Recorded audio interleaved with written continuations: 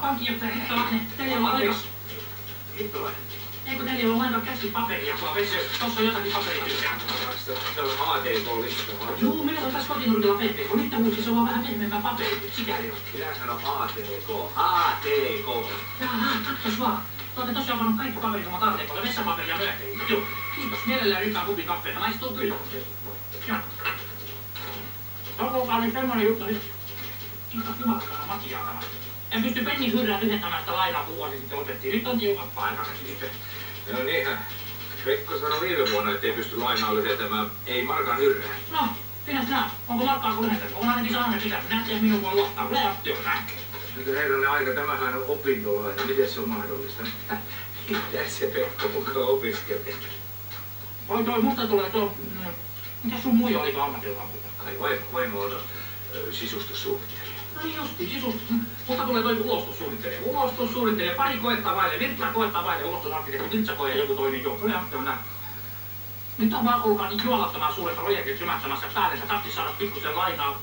Starttirahaa pikkusen. Joo. Paljonko? Mitä se tois joku tuollainen nimetinen suola rahaa vähän, olisiko 500 500 Niin, puoli miljoonaa.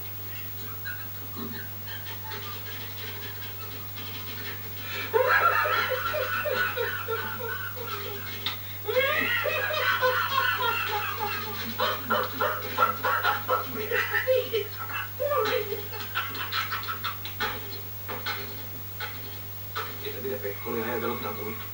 Hmm. Kotoa lähtee sinullekin puhetta, varmasti tarvii takuuta. Mulla mulle täällä tossa osti, ostin viime vuonna äitille kaffeen keittimen, siinä on kuusi kuukautta takuuta jäljellä ja tossa on ranne kellon takuu, kolme kuukautta, toiminut muuten jumalattoman hyvin. Siinä on yhdeksän kuukauden takuut, vaan Eikö minä ajattelin takuita lainalle, että saadaan sitten takaisin? No takuu, se takuu, takuu, mitä, kas kun ne tikuja takuu, nyt herra tekee tikusta asiaa. Minä ihan joo näin.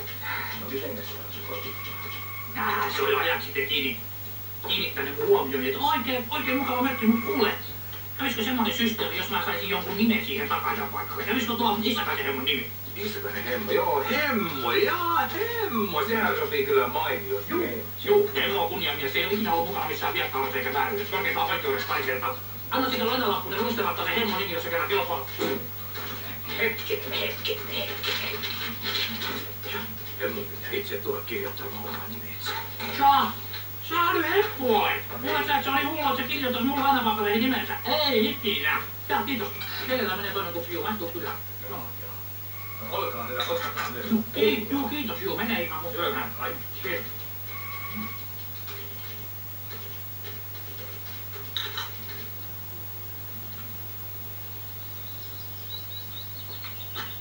Jaha, herra kas mennäs rahaa hakemaan, kuule. Juu, ei tuu mitään. Se on niin nurju tuo pankinjohtaja, se ei ymmärrä bisneksistä mitään.